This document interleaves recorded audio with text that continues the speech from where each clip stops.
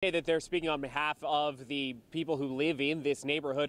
Coral Gate, again, trying to speak out about what they call our sewage ponds. So these basins that they believe will be built when the actual uh, revamp here of the wastewater uh, facility actually happens here that handles this cross-border pollution.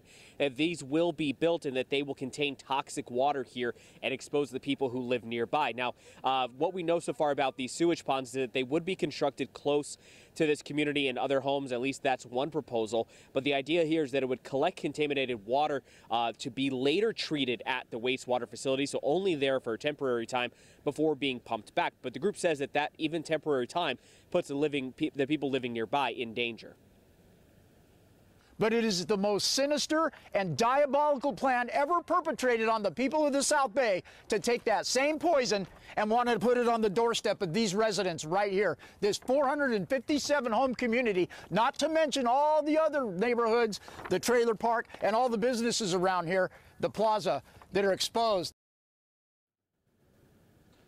And in other cross-border pollution news, the city of San Diego voting today to continue uh, the state of emergency, which of course is important because that helps free up dollars for current and future projects concerning cross-border pollution.